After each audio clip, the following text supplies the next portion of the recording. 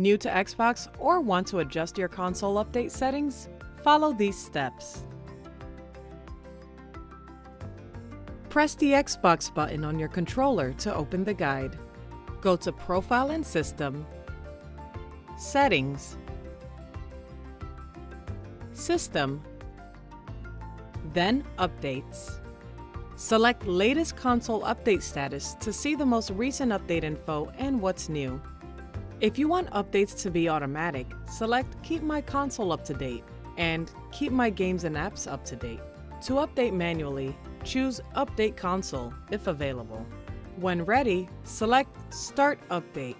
During the update, your console will restart a few times while you wait for it to finish. Make sure your console stays plugged in during the process.